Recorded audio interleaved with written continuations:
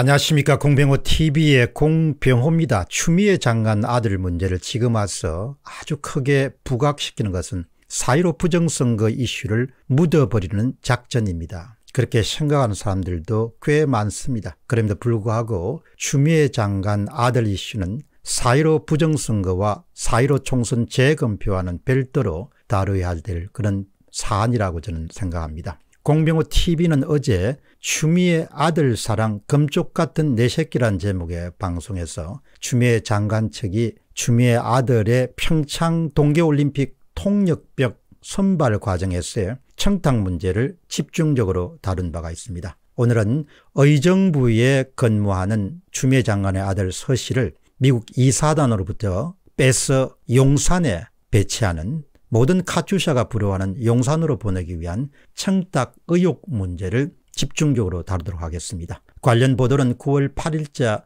중앙일보 이철재 기자의 심층 보도 자료를 참조했습니다. 첫 번째 질문은 용산 이동을 위한 청탁의 전모입니다. 의혹의 핵심은 추미애 법무장관 아들 서 씨가 2016년 카츄샤 미군에 배속된 한국군을 이야기합니다. 카츄사에 입대해 자대 배치를 받기 전과 또 후에 용산으로 부대를 옮겨달라는 청탁입니다. 여러분 여기서 중요한 것은 자대를 배치받기 전과 또 후에 그 청탁건입니다. 이것은 서 씨의 군 휴가 미복귀 그리고 평창올림픽 통역병 청탁 의혹 사건들에 이어서 용산 부대 배정 청탁 의혹 사건이다 이렇게 부를 수 있습니다. 다시 한번더 강조하면 은 자대 배치 받기 이전과 이후로 두 개에 나누어서 청탁이 주어졌을 것이다. 이렇게 추측할 수 있습니다. 주요 언론들의 보도를 종합하게 되면 추니애 법무장관은 더불어민주당 대표였던 2017년 말부터 2018년 초 무렵에 당 대표실 차원에서 국방부에 추장관 아들 서모 씨 27세의 통역병 선발과 관련 뿐만 아니고 또 부대 배치 이동과 관련해서 청탁성 연락을 취한 것으로 드러나고 있습니다. 송영무 전 국방부 장관은 9월 7일 날 중앙일보와의 통화에서 이 사실을 인정했습니다. 그런 사실이 있었지만 밑에서 차단했다는 이야기를 통역병 청탁 관련 보도가 나온 뒤에서야 제가 보고를 받게 됐습니다. 해당 청탁은 민주당 당대표실에서 온 것으로 압니다. 민주당 당 대표실에서 온 것으로 압니다. 이렇게 확인해 준 겁니다.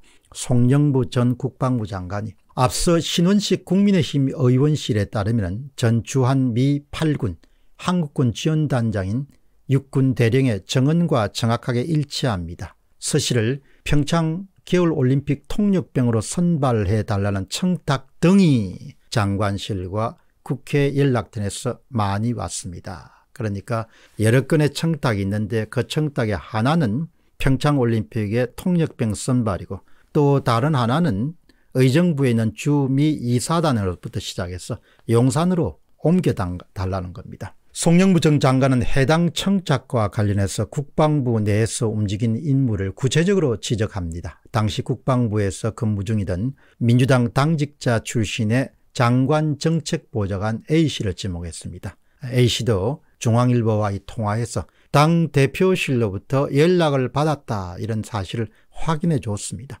다만 A씨는 답변을 당 대표실에서 전달했을 뿐 자신이 직접 청탁에 나서지는 않았다 이렇게 선을 분명히 껐습니다. 하지만 중앙일보와의 통화에서 당 대표실에 누구로부터 연락을 받았냐 질문에는 답하지 않았습니다. 당 대표실에 누구로부터 연락을 받았냐는 부분에 대해서는 답을 하지 않았습니다. A씨도 자신의 문의를 받은 실무자가 장관실 관계자 B씨에게 이를 보고했고 구체적으로 관련 내용을 알아본 것은 B씨라고 이렇게 주장을 하게 됩니다. 하지만 B씨는 중앙일보와의 통화에서 이를 부인하고 맙니다. 다음 질문은 추미애 장관 측의 입장입니다. 추미애 장관 아들 서씨 변호인 측은 9월 7일 날 입장문을 발표하고 의혹을 전면적으로 부인합니다. 부대 및 보직 배치와 관련한 사항에 대해서는 본인이 퇴소하기 전까지는 절대 알 수 없으며 어떠한 외부 개입도 원천적으로 불가능한 구조다 이렇게 주장합니다. 카츄샤의 부대 배치 및 보직 결정은 컴퓨터 난수 추점에 따라서 일률적으로 결정되기 때문에 배노인 측의 주장도 일부 일리가 있습니다. 그러나 전산으로 하는 일이기 때문에 이번에 4.15 부정선거에 보았듯이 조작이 원천적으로 불가능한 아닙니다. 의지만 가질 수 있으면 컴퓨터는 얼마든지 조작이 가능하다는 것입니다. 그러나 곧바로 자대 배치 이후에도 용산 배치 청탁이 있었다는 의혹이 불거져 나오자 변호인 측은 갑자기 입장을 바꿉니다. 사실관계를 파악해야 해서 오늘 중으로 입장을 내기는 어렵습니다. 이렇게 입장문을 바꾸게 됩니다.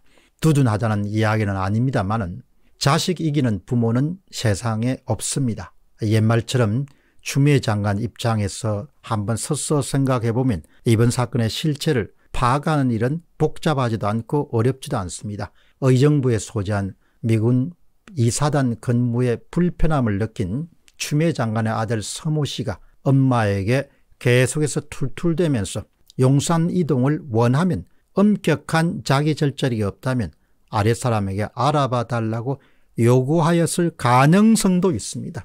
이것은 의혹이기 때문에 그렇다는 것이 아니고 그렇게 상상해 볼 수 있고 합리적으로 추론해 볼 수 있다 이렇게 봅니다.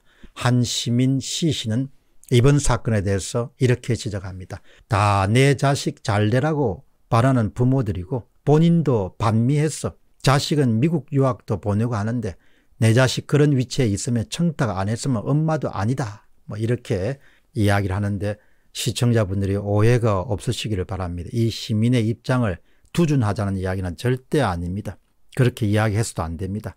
그러나 이 서민 말씀은 일종의 체념에서 나오는 그런 이야기일 것이다. 그렇게 볼 수 있습니다. 언론의 추적 기사들이 모두 옳을 수는 없습니다. 그러나 모든 중요한 사건 수사는 처음에는 의혹 제기에서부터 시작됩니다. 언론의 책무는 합리적 의심이 드는 사안에 대해서 의혹을 제기하는 것이고 그것을 밝히는 것은 검찰과 경찰의 몫입니다.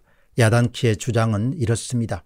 추미애 장관이 독자적 특임 검사가 수사할 수 있게 그렇게 해주든지 아니면 스스로 이런 의혹에 대해서 책임을 지고 사퇴하든지 결단을 내려주기를 바란다. 공적인 자리에 앉으면 큰 일이든 작은 일이든 이렇게 공사 구분이 되지 않으면 큰 낭패를 당하게 됩니다. 더욱이 추미애 장관의 그동안의 폭주는 말하지 않는 많은 국민들의 가슴에 상처를 안겨주었습니다. 추미애 장관이 거의 검찰을 무력화시키고 그런 검찰의 수사 기능을 제거하는 과정을 지켜봐온 많은 시민들이 추미애 장관의 이런 겉과 속이 다른 모습에 분노하고 있기 때문에 이번 사안은 적당한 선에서 덮기가 힘들 것으로 봅니다. 광고 하나 드리겠습니다. 사실과 진실과 정론을 펼치기 위해서 온라인 신문인 공데일리가 출범했습니다. 그리고 한국 상을 세계 널리 알리기 위해서 영어 유튜브 채널인 GONG 공TV도 활동하고 있습니다. 많은 관심을 바랍니다. 공병호 TV의 공병호였습니다. 감사합니다.